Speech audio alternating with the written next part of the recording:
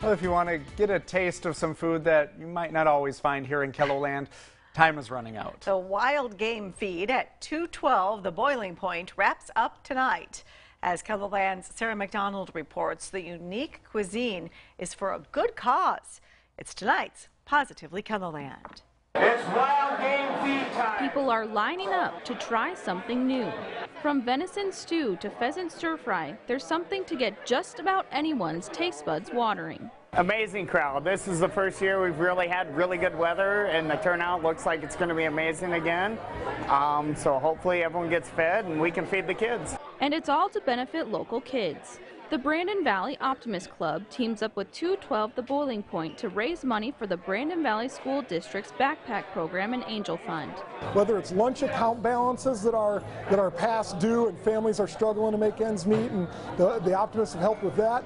Uh, the backpack program, both uh, during the school year and during the summertime, and then also, like I said, those necessities that uh, sometimes families just need help with.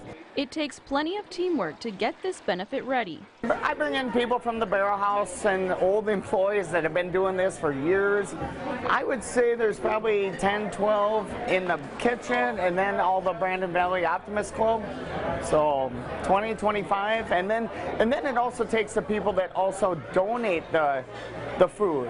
Um, you know, we couldn't do it without that lining up to support students in need. Uh, we rely very heavily on, on the BV Optimist and the Boiling Point to, uh, to provide the opportunities for those disadvantaged kids and those disadvantaged families within our district. We're truly blessed to be able to give back and help the kids. In Brandon, Sarah McDonald, KELOLAND News. And you can still head to 212 The Boiling Point tonight, beginning at 5.30 until 9 o'clock. We've put a link for you under this story on KELOLAND.com.